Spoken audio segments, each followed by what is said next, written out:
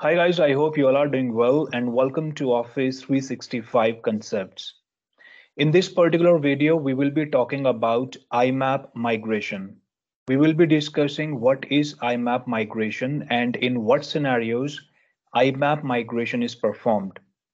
We will be discussing what are limitations of IMAP migration, what are the prerequisites or the steps those are involved in IMAP migration, and then I will demonstrate you how to create IMAP migration endpoint. And we will migrate emails from Outlook.com account to Office 365 account.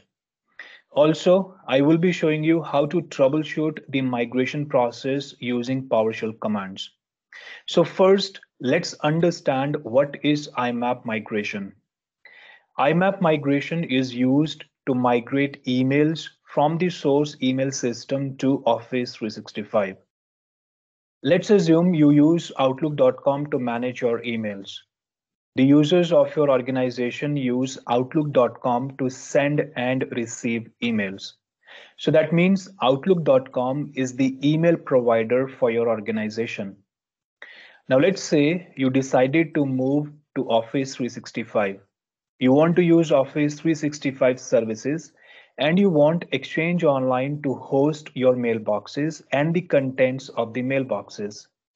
So the first option that you have in this scenario is to export the contents of the mailboxes into a PST file and export that PST file to the Office 365 mailbox. But this option is not feasible if you have multiple mailboxes or users in your organization. If you have more than 1000 users or 10,000 users in your organization, you can't just export the PST file for each and every user and import those PST files to Office 365. So in this scenario, you can use IMAP migration. But there are few limitations to IMAP migration that you should be aware of before you start migrating mailboxes using IMAP migration. IMAP migration is not supported between two Office 365 organizations. Once you have migrated your mailboxes from source email system to Office 365, you cannot offboard them. That means you cannot move those mailboxes back to the source email system. IMAP migration is not supported in on-premise Exchange servers. If you want to migrate mailboxes from on-premise Exchange server, you can use cutover migration, staged migration, or Exchange hybrid migration. IMAP migration doesn't support messaging records management or archive policies. If you have applied archive policies in your source email system, and if emails are moved to archive, IMAP migration will not migrate those emails. IMAP migration migrates only emails of the mailbox. It does not migrate calendar items, contacts, or tasks. And this is very important to know that IMAP migration does not migrate calendar, contacts, and tasks of the mailbox. By using IMAP migration, we can migrate only the emails. You can migrate a maximum of 500,000 emails from a user's mailbox. And the maximum size of the email that can be migrated using IMAP migration is 35 MB. So now let's understand how IMAP migration works or what are the steps those are involved in IMAP migration. If you have recently signed up for Office 365 tenant, then you need to verify your domain that you will be using for the email addresses. After that, you will create users in Office 365 and you need to assign licenses to these users.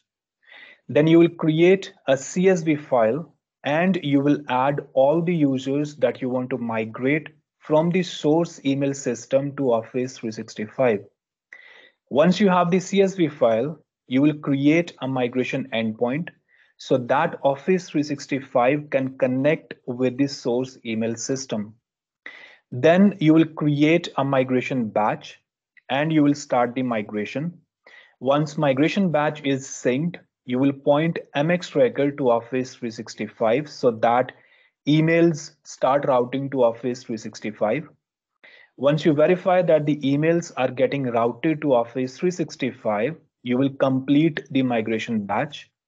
And once migration batch is completed, you can let your users know that now they are using Office 365 as a service. So this is the flow of IMAP migration. Now let me show you practically how to perform IMAP migration. In this particular demo, we are going to migrate emails for this particular user who is using Outlook.com services. As of now, this user's emails are hosted on Outlook.com, that is Outlook.live.com. We are going to migrate all his emails from Outlook.com to Office 365 using IMAP migration. So first, let's create a user. I will not be adding the domain because I already have that verified in this particular tenant and MX record is already pointing to this particular Office 365 tenant. So let's create a user and I will create it as target user.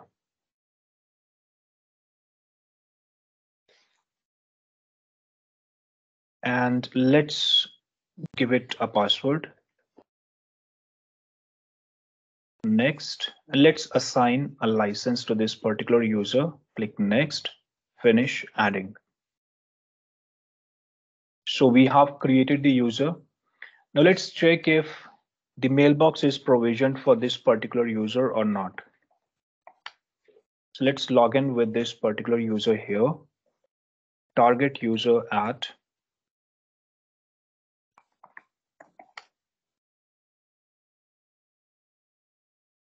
and the password.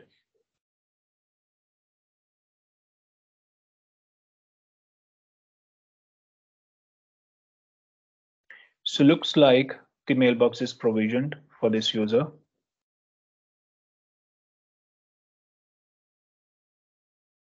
That's it. So now what we are going to do, we will migrate these emails to this particular user who is currently hosted on Office 365. So the next step is we will create a CSV file. The CSV file that we need to create for IMAP migration requires certain attributes of both the users, source account and the target account. So first, we are going to mention email address colon under email address, we will use the email address of the Office 365 account, and that is target user at o365techlabs.com. The next column is user name. Under username, we will use the email address of the source mailbox, and the source mailbox is source user one at outlook.com. Let me just verify. It is source user one at outlook.com. And the third column will be password. And the password will be this user's password, the source mailbox password, which is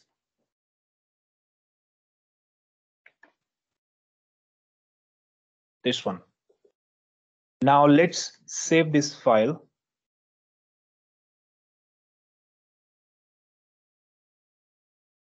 And let's save it on desktop.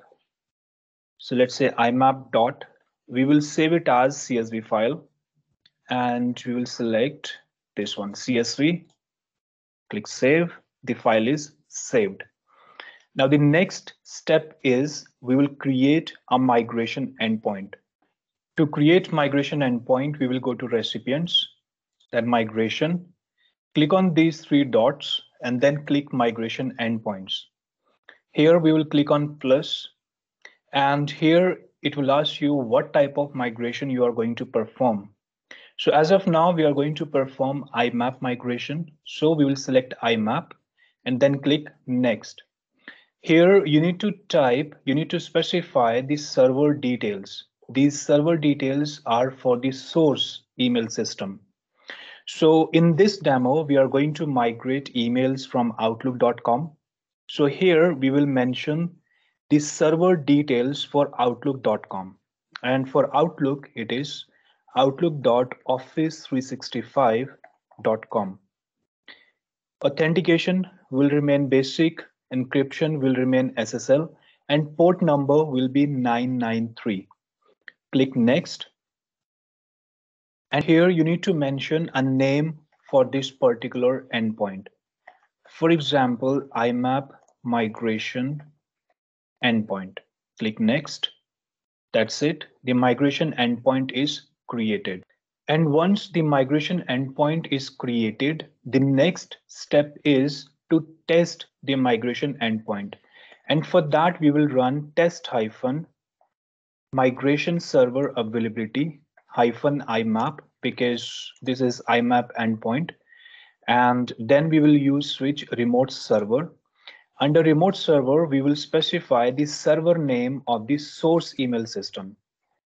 That is outlook.office365.com. And then we will mention the port number, which is 993 for IMAP and press enter. It should say success or pass. If it is failing, that means your endpoint is not created properly. So here it says result success. So that means the endpoint is created properly and we can create the migration batch and we can start the migration. And the next step is to create a migration batch. So under migration, we will click on this plus sign. Here it will ask you what type of migration you are going to perform. You are going to migrate to Exchange Online or you are doing offboarding. That means migrate from Exchange Online. So as of now, we are going to migrate emails from a different source email system to Exchange Online. So we will select migrate to Exchange Online. Again, it will ask you what type of migration you are going to perform. You're going to perform hybrid migration, staged, cutover, IMAP, or Google. So we are going to perform IMAP we will select IMAP migration and then click next. Here we will select the CSV file that we just created. Select this and click next. This is the endpoint details. No changes are required here. Click next and you can give it a name. Let's say test batch. This is the name for the migration batch. Click next and no changes required here.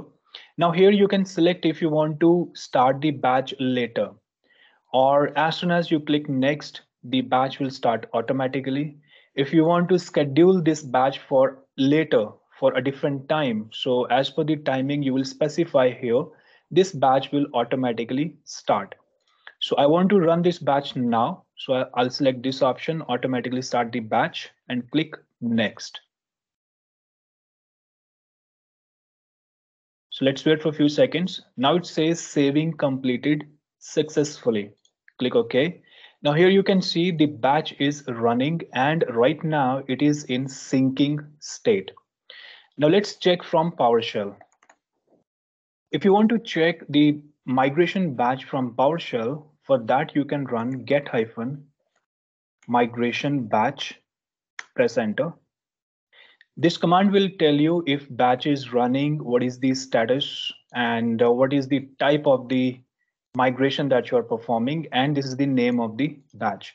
If you want to check more details, you can simply add pipe fl next to this command, and here you can see all the details of the migration batch. As of now, it is syncing. This is the name test batch.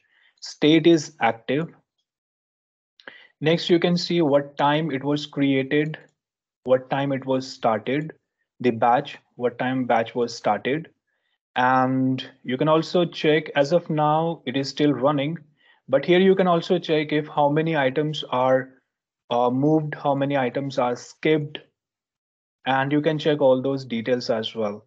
If you want to check the details for a particular user, for that you can run get hyphen migration user. and hyphen identity. And here you need to mention the name of the user who is within the batch. So let's say you want to check the status of migration for a particular user within the batch. So let's type the name. So here you can see the batch for this particular user is still syncing. So let's say within the CSV file, we have added, let's say 50 users in the same format, like I have added target user email address. Same way you can add multiple email addresses here. Here source email addresses and the password of these users. So same way, if you want to check, let's say a different user status, you can run this command. You can change the email address and it will show you what is the status for that particular user migration. If you want to check more details, you can add pipefl and it will give you more details related to the migration. Let's go back to the batch. It is still syncing. And here we can see the target user that we just created, few emails are moved. And this particular email was sent to source user one at outlook.com, which is the source mailbox. This one. Here we can see test nine and this email is now showing under target user. So that means the migration is working properly and emails are moving. We can see test 8 as well, test 7, test 6, test 5. So the migration is still running and emails are moving. So the state of this migration batch has been changed from syncing to synced. And here we can see synced mailboxes one out of one. We have only one user in this particular CSV file. So that is the reason it is saying one out of one is synced.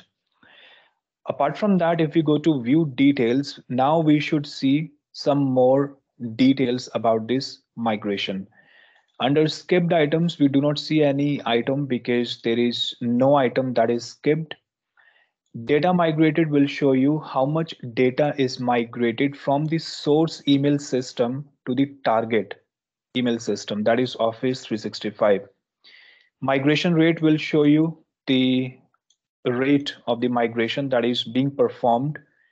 Last successful sync date, this is the date and time. And here you can see in progress duration for how long this particular batch is running.